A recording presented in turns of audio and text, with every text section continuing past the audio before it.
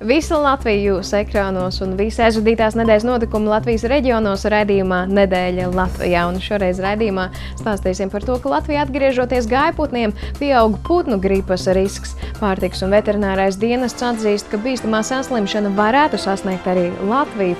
Arī Jēkabpilī konstatēti gadījumi, kad bērni internetā spēlē tā saucamās pašnāvības spēles. Lai gan pavasars tikko kā sācies, Latvijā jau vairāk nekā 80 kūlas ugunsgrēku un ielūkosimies dziedātājas Lindas Līna koncertā Latgales vēstniecībā Gors. Mēs ar jums tiekamies kā ierasts sestdienas vakarā pulksten 21. kanālā RTV.